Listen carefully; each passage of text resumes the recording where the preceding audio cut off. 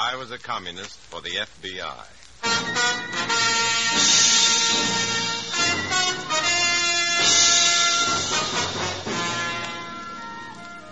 Starring Dana Andrews in an exciting tale of danger and espionage.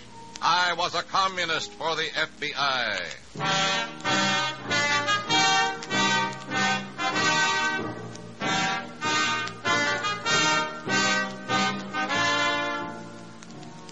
The actual records and authentic experiences of Matt Cvetic come many of the incidents in this unusual story. Here is our star, Dana Andrews, as Matt Cvetic, who for nine fantastic years lived as a communist for the FBI. Travel may be educational, but it's expensive, too. I did a lot of traveling for the Communist Party, and I learned a lot, too, most of which I'd like to forget. As for the expenses, you can make a deal with the party. They'll foot the bills in return for your services, your soul, your self-respect, and some of your blood. This is the story of one all-expense tour I took for the Reds. In a moment, listen to Dana Andrews as Matt Cvetic, Undercover Man.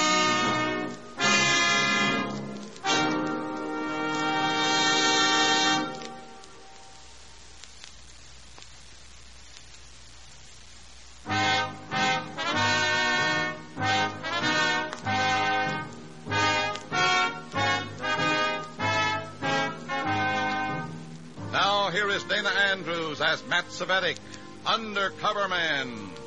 This story from the confidential file is marked Tour of Duty.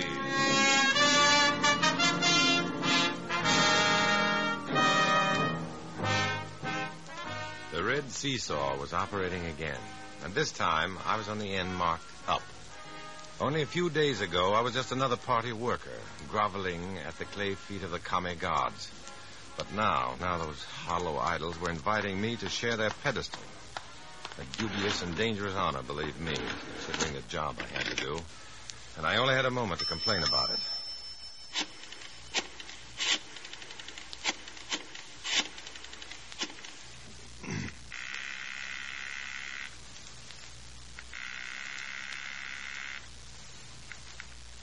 Beaker, Speaker, this is Red. where have you been?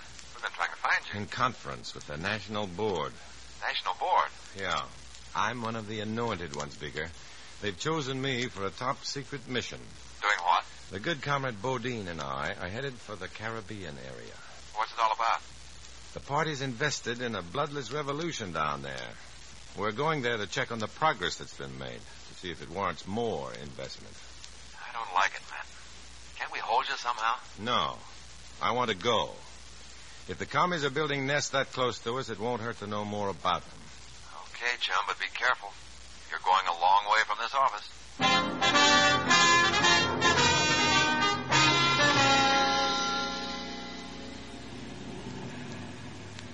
Nothing quite as blue as the Caribbean, is there, Comrade Bodine? Look at it down there. Soon, soon, Comrade Cvetic, this section of the world will be more red than blue. Yeah. If our little project hasn't been squelched. No, no, Cvetic. We have too much money invested in it to think defeatist thoughts. You can't deny that the island's new administration has done a lot of good. Ah, a feeble imitation of the worst aspects of democracy. But they have put the country on a pretty stable basis. They've cleaned things up. They have set some tough security measures. and the way that security office has been operating, you know, what, uh, General, what's his name? Fuentes? Oh, yes, Fuentes. The way that boy's clamped down on corruption, I just don't see how we'll be able to claim any progress. well, Cvetic, let's wait and see. Let's just wait and see. It wasn't exactly a luxury trip, but it typified the Kame operation. The party line was being extended from America to a tiny, struggling Latin American republic. First by chartered plane to an outlying island, then by fishing boat into the harbor, then by car to the center of town, and finally by taxi to the best hotel in the capital city. Always the right people in the right place at the right time. The lobby of the hotel was bustling with activity, the tourist crowd. But our reservations were there for us. We signed the registry, then waited while the clerk went looking for a bellhop. But it wasn't a bellhop who appeared. My most humble pardon, senores. What? Uh, what is it, officer? It is most regrettable this inconvenience to American neighbors. What's he talking about? Uh, what inconvenience, officer? What's wrong? This warrant for your arrest.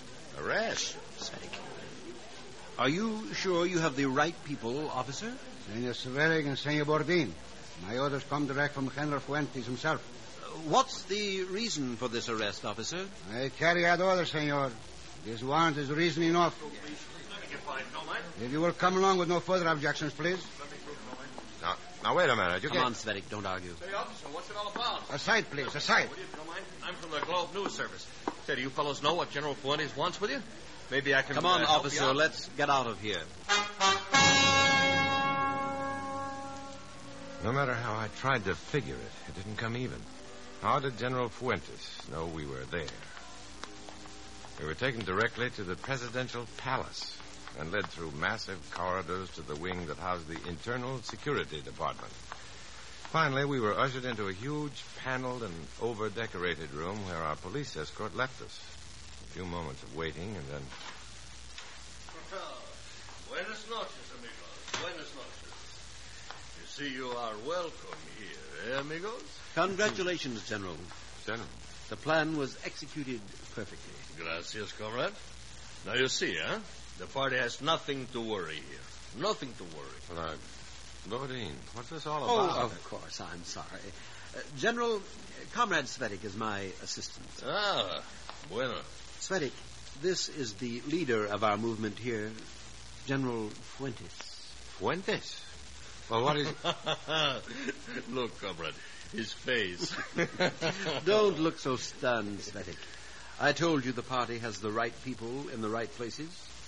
Who could be righter than the most trusted member of our opposition? see.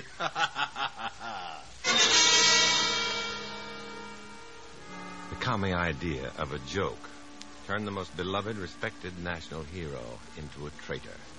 Used the man who had been trusted to stamp out corruption and subversion to sell out his own government. Fuentes seemed to enjoy the vicious paradox of his double-headed politics. But he didn't enjoy being questioned about it. He was far from pleased with Comrade Bodine's meticulous examination of his books, files, progress reports. You will notice here, Comrade Bodine, that the military is well sprinkled with red sympathizers. Key positions, all of them. Mm-hmm. I see. What of the press? Oh, see, see our newspapers. We pay over 50 staff men for their sincerity. Why staff men? Why not the editors? Now, senor, you expect too much too soon. So do you, Fuentes. The American Communist Party has been extremely liberal with its Now, contributions. now, wait a minute, We gentlemen, cannot buy allies with peanuts. It takes money and time. Hey, General, need- Comrade Bodine, let's uh, let's call it quits for tonight. Huh? We're all pretty tired, nervous. Maybe tomorrow. But if can- my efficiency is being doubted, senor. General, tomorrow. Start again tomorrow.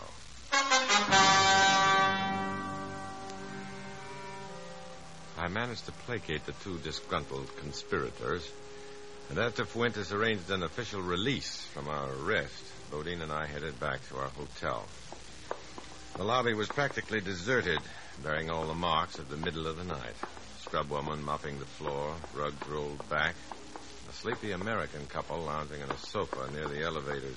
There they are, honey. Hmm? Right there. Oh, yeah, right. Oh, uh, would you excuse me, gentlemen? My name is Ed Bailey, Globe News Service. This is Miss Bailey. I'm very happy I'm to. sorry it's late. Perhaps tomorrow. Oh, no, no. Wait a minute, would you? I, I was here when you were hauled in. You know, when General Fuentes makes an arrest, it's usually Not news. this time, Bailey. You and your wife better go to sleep. No, Ed had his office do some checking. Uh, tell them, honey. Yeah. Well, I did find out that you two are, uh, well, pretty active politically back in the States. If the general had any reason to arrest us, we would still be in his custody. Come on, Steve. Uh, just a minute. Let's hear him out, Bodine. Look, gentlemen, my job is collecting news, not political hocus pocus. I don't care what side you're on, just so long as the fight makes headlines. Oh, Ed doesn't really mean all that at all. He does have Wait a minute, honey. There's probably a good reason why Fuentes let two sworn enemies go free. Now, if you can give me a lead, I'll make sure your name isn't mentioned in the story. See? Good night, And Mr. Bailey. It's late, Cvetic. You need your sleep, too. Yeah. Okay. Good night, Bailey. Bailey didn't know how close he was to changing one small nation's destiny. If I could help him get that story, if he could publish the truth behind this rotten sellout, the revelation would seal off all commie inroads and expose Fuentes and his tribe of traitors. But I couldn't help Bailey now. Not now. Not without putting myself on the party's chopping block. I didn't realize till the next day in secret conference with the general just how crowded that chopping block might be. Well, that's enough for now, comrade. Oh, uh, by the way, Hmm? do you know a newspaper man named Bailey? Bailey? Bailey. No, no, senor. An American reporter, Globe News Service. I, uh, I want you to get rid of him. What? Bodine, you're out of your mind. Bailey's curiosity is a distinct threat to our movement. I want him eliminated, Fuentes. You're being foolish, Carmen. No, practical. If anything happens to Bailey, the American government will demand an investigation. Well, that would turn the spotlight on us, on our work, the party's link with the general. See, see, Cvetic is right. No, I cannot do this, amigo. Not now. Not until our position is more secure. You'll do it, Fuentes. My judgment says Bailey is a threat to the cause. It's settled then, isn't it? Isn't it?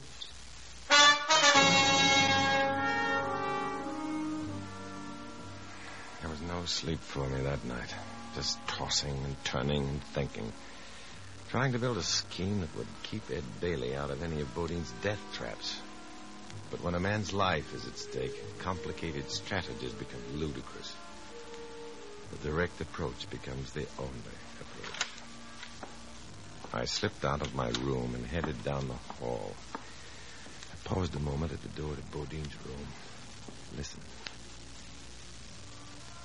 It's all quiet. Good. It was the way I wanted it. The entire hotel was quiet, heavy with sleep. Bailey's room was just down the hall.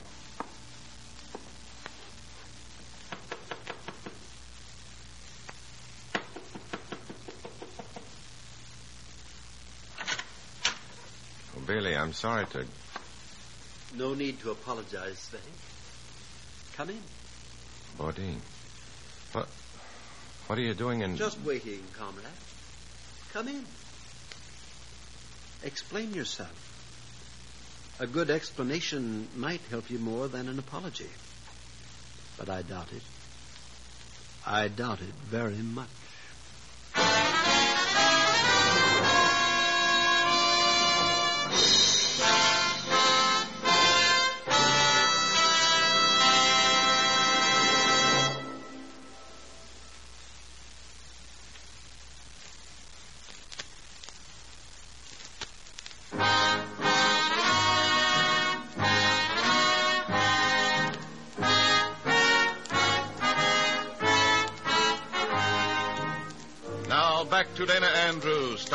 Matt Cvetic in I Was a Communist for the FBI and the second act of our story.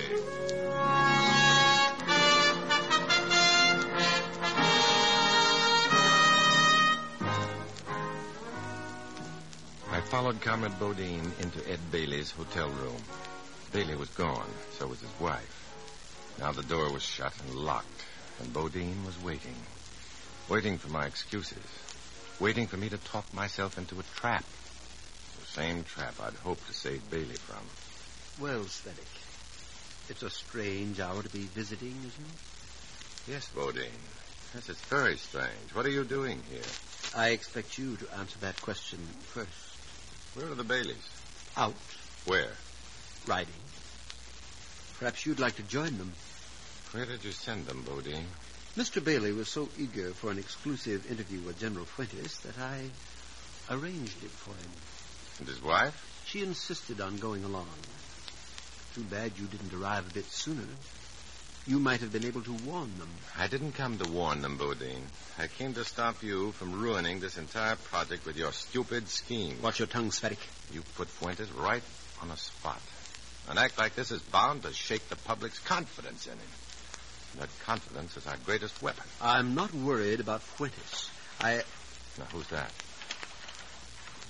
You've appointed yourself host, comrade. You answer it.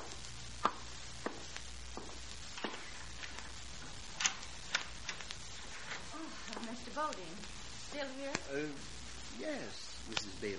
We've been waiting for some. some word about the interview. Oh, Ed insisted on going alone. Hello, Mr. Cvetic. Hello, Mrs. Bailey. He felt the general might not like an extra pair of ears at an interview. He gives them so rarely. Yes. Interviews like this are pretty rare. I can't understand why he arranged it for this hour of the night. Mm, General Fuentes is an unconventional man. funny. The whole thing gives me the willies, sort of. Makes Why? me- I don't know exactly. Frankly, I wish I knew more about. Well, your relationship with the general is so. You don't trust us, Mrs. Bailey. Oh, I don't know. I, I'm just worried. I hate to admit it, but I'm worried about Ed. Really worried.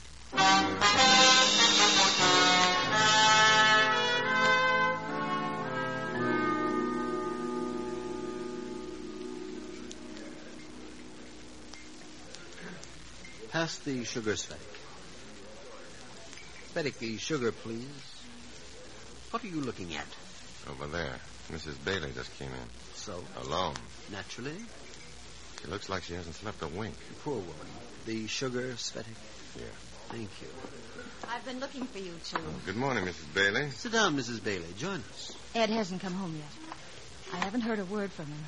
It's funny he didn't let you Steady. know what he... Uh, it isn't often a reporter gets an interview with a man as colorful as General Fuentes. Uh, perhaps. Have you called Fuentes' office? He never got to General Fuentes' office. The news agency checked out. Ed never got there. He hasn't been seen around there, neither has the general. That's impossible, Mrs. Bailey. Certainly the general would be... Nobody's seen him or Ed. Something's happened. I know something's happened to him. Now, control yourself, Mrs. Bailey. I'm sure I can reach the general for you, if you like.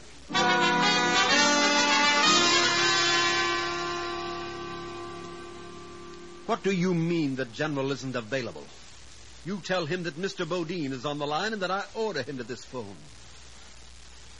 I say he is available and I expect him on this line immediately. What? What do you suppose he's up to, Bodine? I don't know, but I don't like it.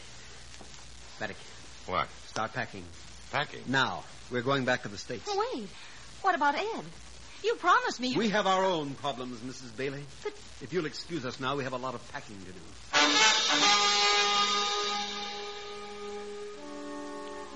Bodine's sudden decision to check out worried me. I still didn't know what had happened to Bailey, or why Fuentes was avoiding us. Whatever the reasons, they bothered Bodine enough to force him into action and out of the hotel in a hurry. I finished packing first, then went to his room to help him with his things.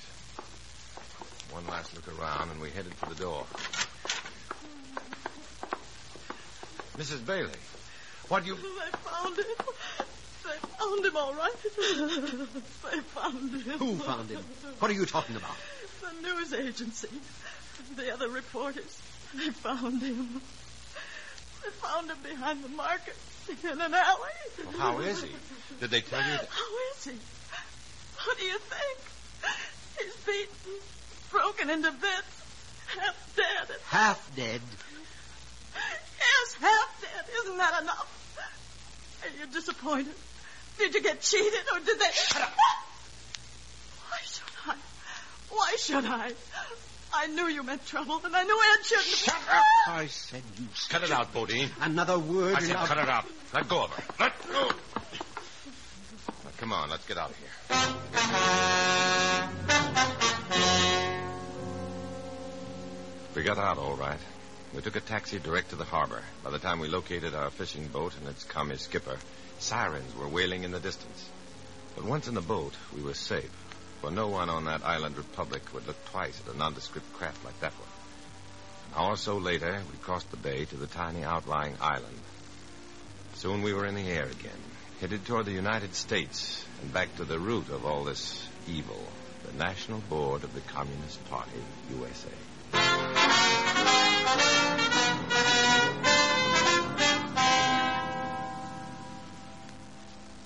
All right, Cvetic. Let's go in. The board is waiting. Yeah.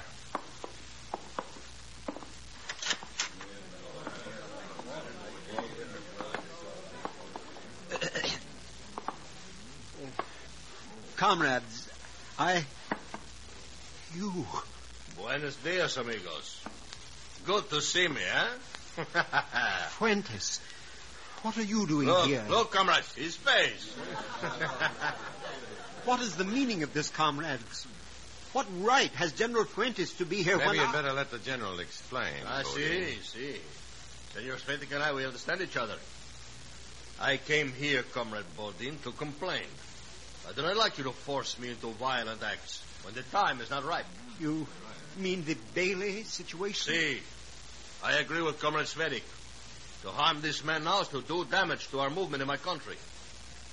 So I state my case to our comrades here. And they agree too, huh? One minute, General. How long have you been here? Oh, I take my plane the night we argue about this, amigo. The military has taught me when you have complaints, do not argue with the bottom or with the middle. Argue direct with the top. You've been out of your country since that night. See, see. Then how did Bailey get... Bodine, If you will excuse me, comrade. let's I- have it, Bodine. Who did the muscle work on Bailey? Ah, comrades, if you please. Let's have ah, it, Bodine. Let go, Cvetic. Please. Fuentes wasn't in the country, but Bailey was found half dead in an alley. What about it, Bodine? Come on, talk. Our comrades want to know.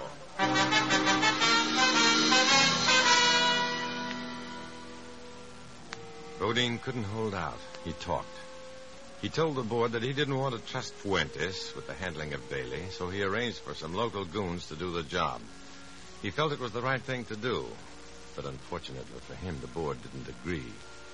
He was reprimanded for his stupidity, while Fuentes and I were cited for our good sense, loyalty to the cause, dedication to the far-flung ideals of proletarian dictatorship, blah, blah, blah, blah.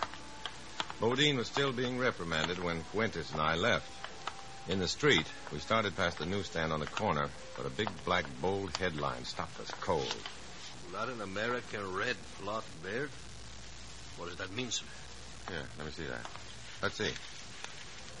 The brutal beating of American reporter Ed Bailey has unveiled a link between high ranking officials of this government and the American Communist Party. Ah, I was afraid. I was afraid of that. Found by his colleagues on a report from his wife, Bailey had obviously been left for dead by abductors whom he has identified as communist goons, hired for the job by Henry Bodine, a notorious American Red. The party will settle with Bodine for that. The most shocking note in Bailey's story was the revelation that the secret leader of the local communist faction is this republic's trusted internal security officer, Huh? General Manuel Fuentes. Oh, no, no. That's what it says, General. Oh, but no, they won't believe it. I am the sworn enemy of the communists. They- According to this, your disappearance is practically an admission of your guilt. See? Right down here. Oh, what can I do, amigo? Where can I go? I cannot go back there.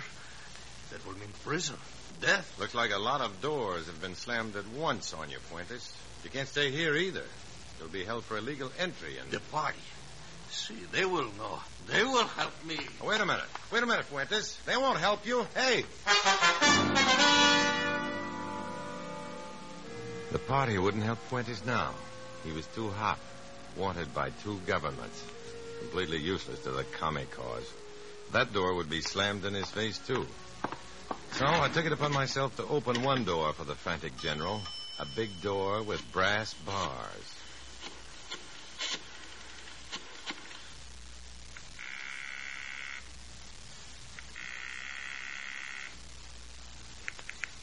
Beaker. Speaker, this is Red. Well, welcome home. Got all your skin left? Uh, most of it. Can the FBI use a prize prisoner? Who, Bodine? No, the party has its own plans for him. I mean General Fuentes. He's here? Illegally, of course. Is that reason enough to hold him until his government can claim him? Sure. Where is he? Right now, he's being turned down by the National Board. Here's the address.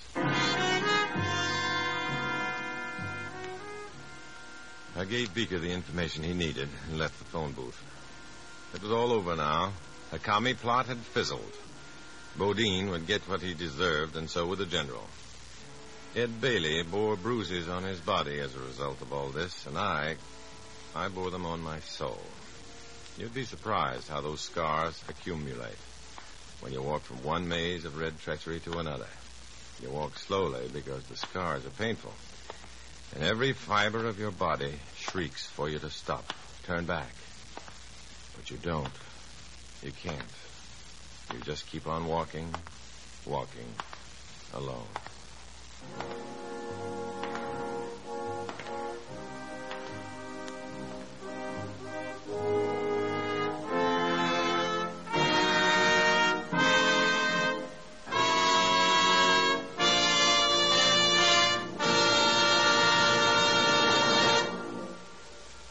Dana Andrews will return in just a moment.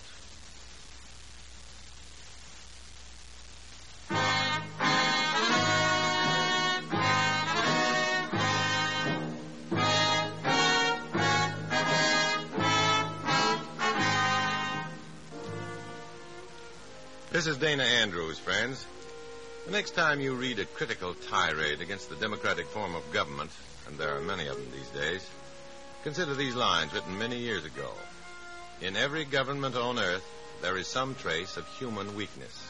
Every government degenerates when trusted to its rulers.